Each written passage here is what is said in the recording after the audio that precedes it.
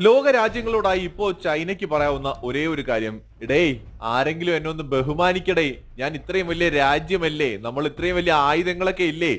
വലിയ സമ്പന്ന രാജ്യമായിക്കൊണ്ടിരിക്കുകയല്ലേ ഒന്ന് ബഹുമാനിക്ക് എന്ന് പറഞ്ഞ് കരയുന്ന ഒരു ചൈനയാണ് ഇന്ന് ലോകത്തുള്ളത്.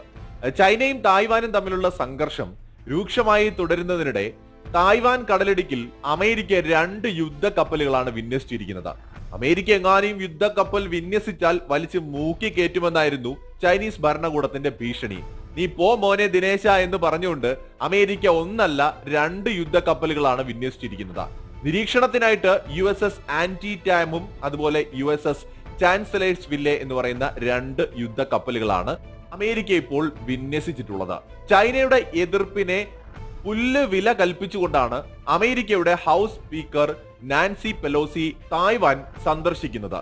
അന്ന് മുതൽ തന്നെ ചൈന പല വിധത്തിലുള്ള അഭ്യാസ പ്രകടനങ്ങൾ ഇറക്കിയെങ്കിലും കാര്യമായി ഒന്നും ചെയ്യാനുള്ള ഒരു ചങ്കൂറ്റം ചൈനയ്ക്കില്ല.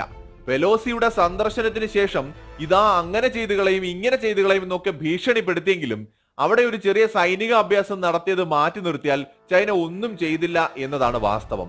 തായ്വാൻ ദ്വീപ് ചൈനയുടേതാണെന്നും മറ്റ് രാജ്യങ്ങളുടെ സൈനിക സാന്നിധ്യങ്ങളെ പ്രകോപനപരമായി മാത്രമേ കാണുമെന്നും അങ്ങനെ ഉണ്ടായാൽ പിടിച്ച് മൂക്കി കയറ്റുമെന്നുമാണ് ഷിജിൻ പിങ് പറഞ്ഞുകൊണ്ടേയിരുന്നത്.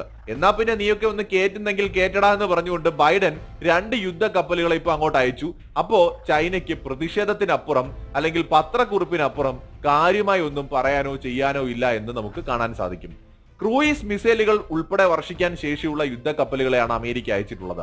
ഇപ്പോഴും നമ്മൾ അമേരിക്കയും ചൈനയും തമ്മിൽ സാങ്കേതിക വിദ്യയുടെ കാര്യത്തിൽ താരതമ്യപ്പെടുത്തി കഴിഞ്ഞാൽ ഒരു മുപ്പത് മുതൽ അൻപത് വർഷം വരെ ചൈന അമേരിക്കയുടെ പിന്നിൽ തന്നെയാണ്. കാരണം അമേരിക്ക ആയിരത്തി തൊള്ളായിരത്തി എഴുപതുകളിൽ ചന്ദ്രനിൽ മനുഷ്യനെ എത്തിച്ച രാജ്യമാണ്. അപ്പോൾ തന്നെ നമുക്ക് ഊഹിക്കാം അതിനുശേഷം ഇന്ന് വരെ വേറെ ഒരു രാജ്യത്തിനും അത്തരം ഒരു കാര്യം സാധ്യമായിട്ടില്ല എന്ന്.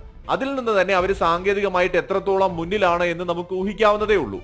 അപ്പൊ ചൈന ഒരുപാട് പിന്നിലാണ് ടെക്നിക്കലി അമേരിക്കയുമായി താരതമ്യപ്പെടുത്തിയാൽ.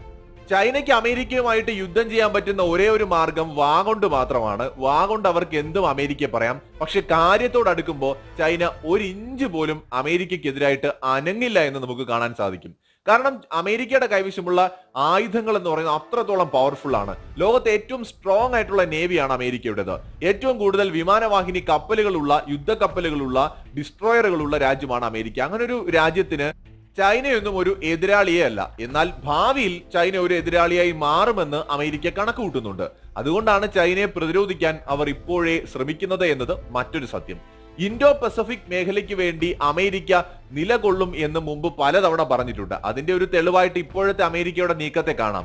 യു എസ് നേവിയുടെ പത്രക്കുറിപ്പ് പറയുന്നതനുസരിച്ച് ചൈനീസ് ഭീഷണികളെയൊന്നും അവർ ഒരു തരി പോലും മുഖവിലേക്ക് എടുക്കുന്നില്ലെന്ന് മാത്രമല്ല ചൈനയ്ക്കെതിരായി കൂടുതൽ ശക്തമായ നടപടികൾക്ക് തയ്യാറെടുക്കുകയുമാണ്. എന്തായാലും അമേരിക്കൻ യുദ്ധക്കപ്പൽ തായ്വാന്റെ തൊട്ടടുത്ത് ചൈനയുടെ മൂക്കിന്റെ താഴെ എത്തിയ സ്ഥിതിക്ക് ഇനി എന്താണ് ഷിജിൻപിങ് ഭരണകൂടം അമേരിക്കക്കെതിരെ ചെയ്യാൻ പോകുന്നതെന്ന് നമുക്ക് നോക്കാം. മൂക്കി വലിച്ചു കയറ്റോ അതല്ലെങ്കിൽ അമേരിക്ക എടുത്തങ്ങ് ഉടുക്കോ നമുക്ക് നോക്കാം.